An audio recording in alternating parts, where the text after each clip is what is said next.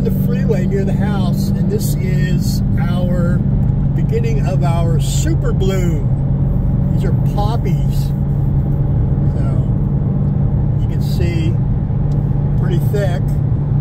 And these hills and the canyons go back, I don't know exactly how far they go back, but every time we get to a like a canyon, you can look all the way back into it and see the the poppies. So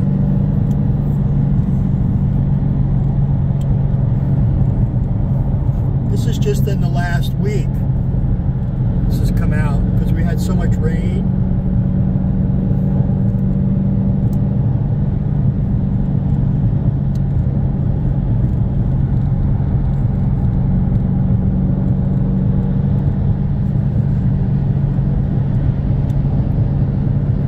Rachel's our videographer today, since I'm actually driving.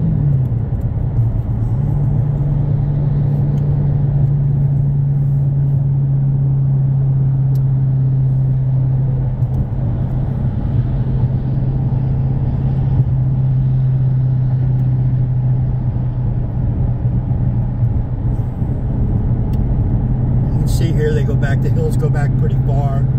You see how they are. And this will get more intense, I think, as the week goes on, because we've, we've had so much rain. I think we got like six inches of rain over the last week, which is usually more than we get in a whole year.